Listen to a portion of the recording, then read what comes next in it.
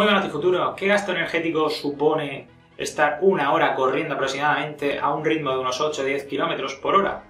Y estar tumbado en el sofá una hora. O estudiando sentado en tu escritorio.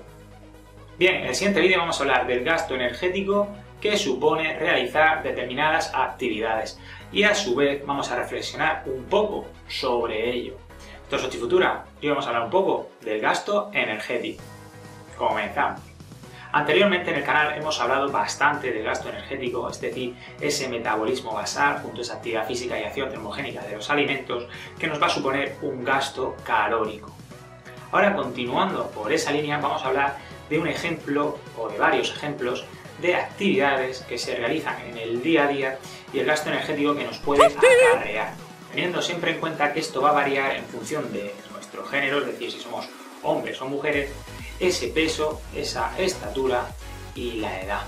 Ahora vamos a tomar como ejemplo dos sujetos de 25 años, tanto un hombre como una mujer, con estas medidas y con estos pesos. Ahora vamos a ver algunos ejemplos de actividades del día a día y ese gasto energético que les supone a cada uno de ellos, en función de las características que hemos dicho. Decir que estos valores son estimativos, siempre va a depender del sujeto, ese principio de la individualidad. Y bien, vamos a ver algunos ejemplos de actividades diarias. Tomando como partida los dos sujetos que hemos mencionado anteriormente, tenemos que en las siguientes actividades diarias va a asumir estos gastos energéticos. Por ejemplo, dormir suele ser un gasto de unas 75 calorías en una hora, en el caso del hombre, mientras que en el caso de la mujer suele rondar las 50-60. Caso de asearse, unas 200 calorías en el caso del hombre y unas 160 en el caso de la mujer. Si hablamos de comer, unas 100 aproximadamente por parte del hombre y en el caso de la mujer unas 97 calorías. Estar tumbado en el sofá, algo que no deberíamos abusar, supone unas 100 calorías de gasto por hora, mientras que en el caso de la mujer unas 75 aproximadamente. Estar sentado en tu escritorio escribiendo o leyendo un libro nos puede suponer un gasto de unas 120 calorías aproximadamente, mientras que en el caso de la mujer unas 90 calorías. En el caso del hombre estar de pie unas 125 kilocalorías, mientras que la mujer se sitúa aproximadamente por las 90. Si nos vamos a una actividad algo más vigorosa como subir escaleras, encontramos que si realizamos esta actividad durante una hora puede llegar a suponer un gasto de por encima de las 1000 calorías en el caso del hombre y de las 800 en el caso de las mujeres. Por el contrario, si hablamos de bajar escaleras, este valor baja a unas 400 kilocalorías en el caso del hombre y por encima de las 300 aproximadamente en la mujer. Por último, otro ejemplo puede ser conducir un coche o una moto donde los valores se sitúan entre 185 y 220 kilocalorías en el caso del hombre y entre 140 y 180 en el caso de la mujer.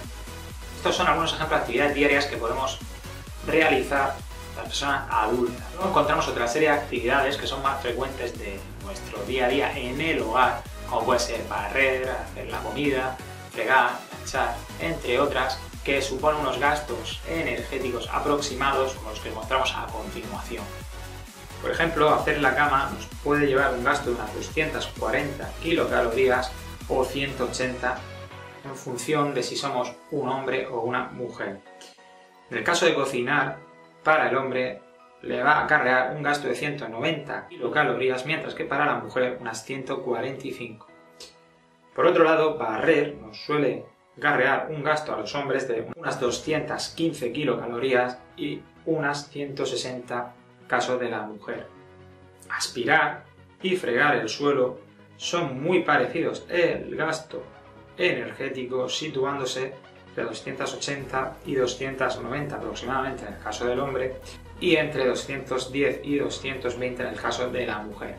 Otra actividad como lavar los platos se puede situar entre los 160 y 120 en función de seamos hombres o mujeres. Por último, planchar puede acarrearnos un gasto de unas 275 kilocalorías o 205 aproximadamente en el caso de la mujer. Estos son algunos ejemplos de actividades que podemos realizar en nuestro día a día. Si nos vamos al mundo de la actividad física, pensamos en actividades como correr, ir al gimnasio, realizar una clase dirigida de spinning, hacer ciclismo, carretera, subir montañas, haciendo trail o senderismo, remar, nadar u otras actividades, muchas veces esa hora de actividad física o un tiempo superior, creemos que ese gasto nos va a suponer una pérdida de peso, podemos tomarnos ese postre o ese helado, esa tarta o cualquier otra cosa que sabemos que a lo mejor no es tan saludable o es un capricho. Entonces es muy importante conocer el gasto energético que nos va a suponer determinadas actividades. A modo de ejemplo vamos a mostrar una serie de actividades y sus gastos energéticos. Comenzando con caminar. Si vamos a un ritmo de 5 km por hora nos, puede cargar un gasto de unas 270 kilocalorías o 200 aproximadamente, seamos hombre o mujer. Si nos vamos a la práctica de la carrera, a un ritmo de 8-10 km nos puede suponer un gasto de unas 650 kilocalorías en el caso del, del, hombre a unas 490 aproximadamente en el caso de la mujer. Si hacemos bici, estos valores pueden oscilar entre 500 calorías aproximadamente y unas 380-390 en el caso de la mujer. Otras actividades como bailar pueden ir de entre las 300 calorías y las 225.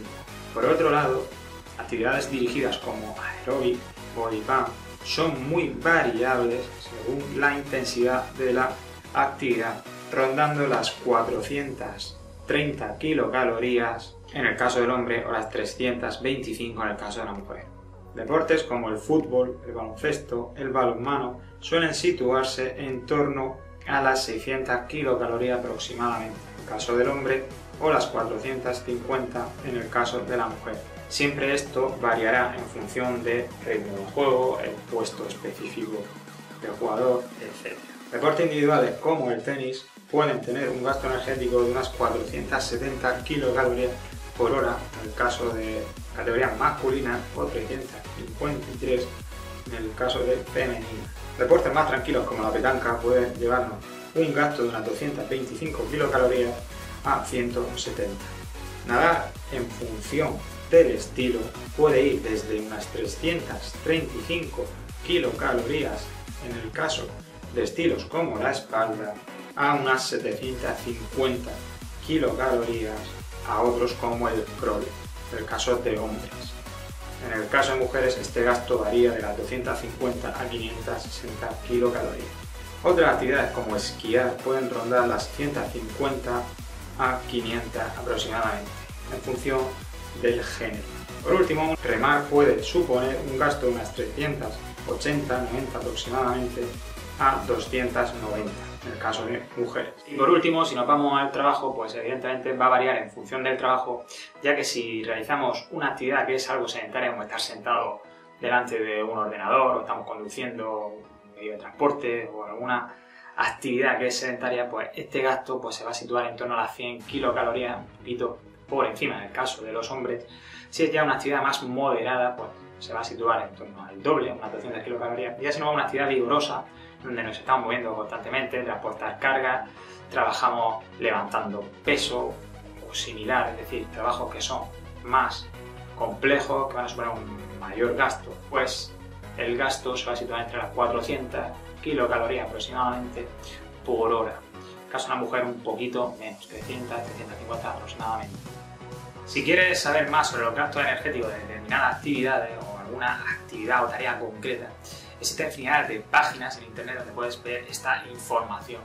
Nosotros utilizamos la web del Centro de Investigación de Endocrinología y Nutrición Clínica, donde hay determinadas pestañas en esta página donde vamos a ver el valor de determinados alimentos, podemos ver el gasto energético total poniendo los datos de un sujeto concreto, como su edad, su peso, eh, su estatura, el género. Y luego también tenemos actividades de los gastos energéticos de forma muy sencilla, seleccionando las características del sujeto y poniendo el tipo de actividad en función de si es una hora, 20 minutos, etc.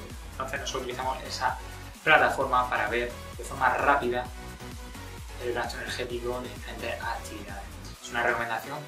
Y bien, con esto queremos mostrar que una hora de actividad puede acarrear un gasto que creemos que ya ha sido mucho, pero es más fácil recuperar ese gasto con una ingesta que a veces creemos que es suficiente y al final todo lo que hemos realizado lo tiramos por la borda en pocos minutos o incluso segundos idea. Espero que este vídeo os haya servido y nos vemos en el siguiente vídeo.